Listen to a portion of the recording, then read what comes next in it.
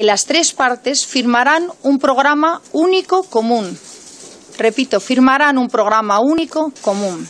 Nosotros vamos a intentar llegar a un acuerdo con aquellos partidos que quieran progresar, no que quieran retroceder. Yo no quiero una comunidad de Madrid que tenga como reflejo los años 50. Vamos a seguir hablando con un partido y vamos a seguir hablando con el otro. Nosotros estamos eh, de acuerdo en hablarlo con ellos y en ver esas diferencias que tenemos a lo largo del texto. Vox pide a PP y Ciudadanos un pacto a tres para investir a Ayuso que suprima parte de la ley LGTBI.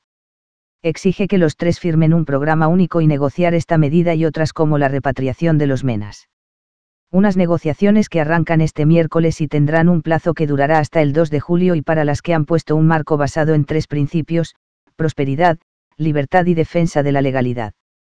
Principios con los que proponen derogar parte de las leyes LGTBI, la expulsión de los menores extranjeros no acompañados y la ilegalización de ONGs, entre otras cuestiones.